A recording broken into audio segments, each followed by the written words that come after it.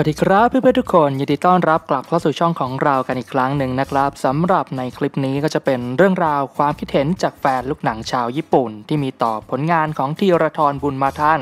หลังเกม J.League นัดล่าสุด ที่โยโกฮาม่า F. Marinos เปิดบ้านถล่มจูบิโล่อิวาตะไปได้ถึง 4 ประตูต่อศูนย์โดยที่แบ็กซ้ายชาวไทยของเราได้มีส่วนกับประตูที่ 3 ของทีมด้วย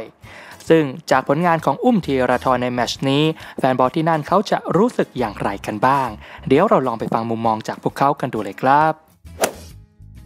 โดยแฟนบอลท่านแรกนั้นได้มาชื่นชม 2 ผู้เล่นทางฝั่งซ้ายว่าธีราทรและก็เคอิตะนั้นสามารถทำได้ดีอีกครั้ง ส่วนท่านต่อมาได้มากล่าวแบบเซอร์ไพรส์เล็กๆ ว่าธีราทรสามารถหยุดโรดริเกสได้ด้วย ซึ่งโรดริเกสเนี่ยก็คือศูนย์หน้าชาวลักเซมเบิร์กของทีมจูบิโล่อิวาตะนั่นเองครับ ส่วนท่านต่อมาก็ได้มาชื่นชมว่าทีรทรเข้ากับทีมได้ดี การผ่านบอลของเขาสามารถทำได้ดี ส่วนท่านถัดมานั้นได้มีมุมมองว่า ทีรทรเล่นได้เข้ากับแท็กติก และการเล่นแบ็กด้านข้างก็แข็งแกร่งขึ้น แต่ผมนั้นต้องการให้คุณแข็งแกร่งกับทุกๆ คู่ต่อสู้ที่เราได้เจอ มันยังมีการละเลยที่คุณยังไม่เข้าใจ ส่วนท่านต่อมานี่ก็ได้มองว่าทีรทรและก็วาดะนั้นมีการโจมตีทางด้านข้างที่อันตราย ในขณะที่ท่านต่อมานั้นได้มากล่าวว่า ในเกมนี้เราชนะได้อย่างสมบูรณ์แบบ ในตอนแรกนั้นผมคิดว่าเราคงไม่สามารถใช้งานทีรทรได้ แต่ว่ามันกลับเป็นความเข้าใจผิด ส่วนท่านต่อมาก็ได้มาคอมเมนต์ว่าคิดะ มาคอส เอดิก้า และทีรทรทำได้ดี โดยเฉพาะอย่างยิ่งมาคอสนั้นสุดยอดมาก ส่วนท่านต่อมาก็ได้มากล่าวไปถึงจังหวะการเล่นหนึ่งในช่วงท้ายเกมของธีราทรว่า ผมได้เห็น roulette ของธีราทรด้วย ซึ่ง roulette ที่เขาได้พูดถึงเนี่ยก็คือการพลิกหลบคู่แข่งขันที่เรารู้จักกันในนาม Zidane turn นั่นเองครับ ส่วนท่านต่อมาก็ได้มากล่าวชื่นชมแบ็กซ้ายชาวไทยของเราว่า พลังในการวิ่งของธีราทรนั้นดีมาก เช่นเดียวกับท่านต่อมาที่ก็ได้มองว่าทีรทรนั้นดีขึ้นจริง ๆ ส่วนแฟนบอลท่านถัดมาก็ได้มองว่าการป้องกันของทีระทรทำได้อย่างมีความมั่นคง ส่วนท่านต่อมาก็ได้มาคอมเมนต์ว่าทางฝั่งซ้ายของทีระทรและก็เคอิตะนั้นได้กลายเป็นความรู้สึกที่ดีอย่างต่อเนื่อง ส่วนแฟนบอลท่านต่อมาได้มากล่าวถึงประตูที่ 3 ในเกมนี้ของมารินอสว่า ประตูนี้ได้จากจุดโทษของเอดิก้าแต่ว่าทีระทรก็ทำได้เยี่ยมด้วย ส่วนท่านต่อมาก็ได้มาคอมเมนต์ถึงทีรทรว่า จังหวะเวลาในการเข้าและออกจากลูกบอลของทีรทรนั้นโดดเด่นและความตื่นตัวของเขาก็มีประสิทธิภาพด้วย บางสิ่งมันได้เริ่มต้นแล้ว ส่วนแฟนบอลท่านต่อมาก็ได้มากล่าวว่า ผมเคยคิดว่าทีรทรนั้นไม่ดีเอาซะเลย แต่เขาก็สามารถเข้ากับทีมได้แล้ว มาคอสเองก็เป็นศูนย์กลางของทีมที่ดี ส่วนท่านต่อมานั้นก็ได้มาคอมเมนต์ว่า ผมได้รู้สึกถึงความสัมพันธ์ทางฝั่งซ้ายที่ออกมาระหว่างเคอิตะ และก็ทีรทรส่วนความคิดเห็นถัดมานี่ก็เป็นอีกท่านหนึ่งที่ได้มองว่าทีรทรนั้นได้ดีขึ้นมาแล้วส่วนท่านต่อมาก็ได้มากล่าวว่า การป้องกันของทีรทรนั้นดีขึ้นและดีขึ้น ยามานากะเองนั้นได้เคยเล่นเกมรับไว้อย่างสมบูรณ์ โดยยามานากะเนี่ยก็คืออดีตแบ็กซ้ายของมารินอสที่ได้ย้ายไปอยู่กับอูระวะเรสไนมอน ซึ่งจากตรงนี้ท่านต่อมาก็ได้มากล่าวครับว่า เมื่อพิจารณาดูแล้ว มันรู้สึกว่าเราขายยามานากะไปในช่วงเวลาที่ดี ที่ทำให้เราได้รับเงิน 200 ล้านเยน และสามารถคว้าผู้เล่นที่ยอดเยี่ยมที่มีพลังในเกมรุกเทียบเท่ากันอย่างทีระทรส่วนไปบอท่านต่อมานี่ได้มีมุมมองหลังเกมนัดนี้ว่า มันเป็นเกมที่สนุกจริง ๆ มันยอดเยี่ยมที่สุด วันนี้ Man of the Match ส่วนตัวของผมคือทีรทรผมเคยคิดว่าเขาเล่นได้ไม่ค่อยเข้ากับทีม แต่มันรู้สึกค่อนข้างดีเลยที่เขามาถึงจุดนี้ได้ ซึ่งจากตรงนี้ท่านถัดมาก็เลยได้มากล่าวเพิ่มเติมอีกครับว่า ทีรทรเล่นได้เข้ากับทีมแล้ว ส่วนท่านต่อมานี่ได้มาคอมเมนต์บอกเล่าความรู้สึกว่า ผมขอโทษนะธีราทรที่ได้เคยพูดบางสิ่งที่แย่ๆ เช่นเดียวกับท่านต่อมาที่ก็ได้มากล่าวว่า ผมขอโทษนะธีราทรในฐานะของตัวแทนทีมชาติไทยและก็เท้าซ้ายปีศาจมิสเตอร์บุญยอดเยี่ยมที่สุด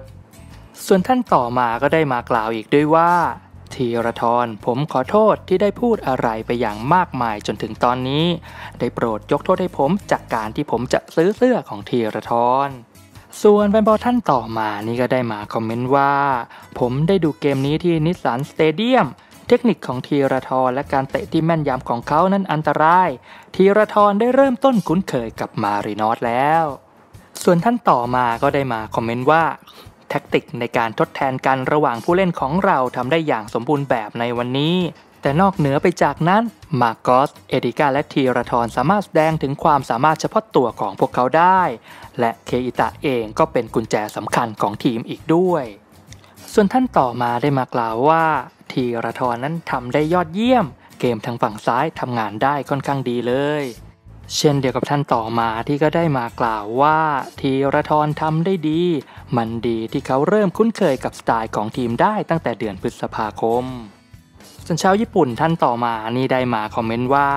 ทีระทรนั้นร้อนแรงในช่วงหน้าร้อนของประเทศญี่ปุ่น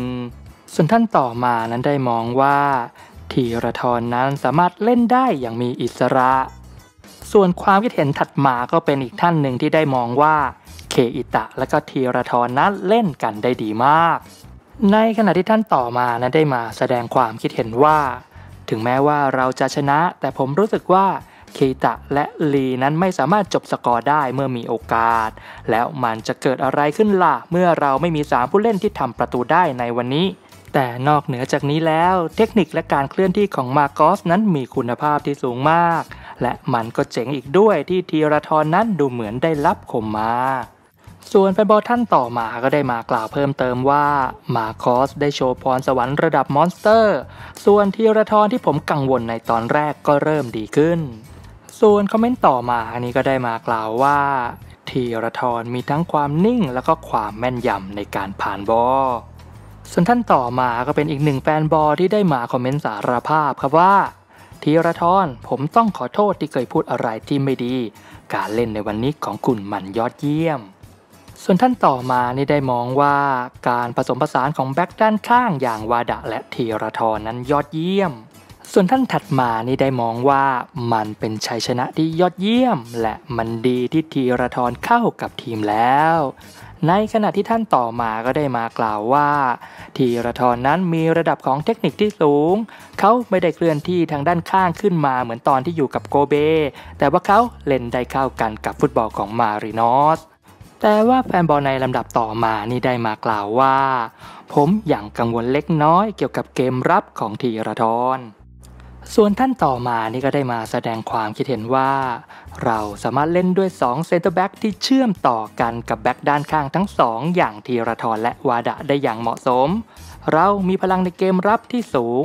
มันไม่มีอะไรที่เราต้องกังวลเกี่ยวกับการโดนโต้กลับเลยที่ผ่านมา มาที่ความคิดเห็นของแฟนลูกหนังชาวญี่ปุ่นท่านสุดท้ายที่เขาได้มาคอมเมนต์เชิงตั้งคำถามครับว่า เมื่อทาคาโนะหายเจ็บกลับมา แล้วคนไหนกันล่ะที่เราจะเลือกใช้งานระหว่างเขากับทีรทรครับทั้งหมดนั้นก็เป็นมุมมองความคิดเห็นบางส่วนจากแฟนลูกหนังชาวญี่ปุ่น หลังเกมเจลิกนัดที่ 13 ที่โยโกฮาม่าเอฟมารินอสเปิดบ้านถล่มทีมเยือนอย่างจูบิโรอิวาตะได้ถึง 4 ประตูต่อศูนย์ที่ผมได้รวบรวมมาฝากกันในคลิปนี้ แล้วกลับมาพบกันได้ใหม่อีกครั้งในเอพิโซดหน้า ขอบคุณและสวัสดีครับ